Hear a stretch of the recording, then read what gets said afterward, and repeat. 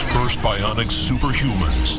They're stronger than us, faster, smarter.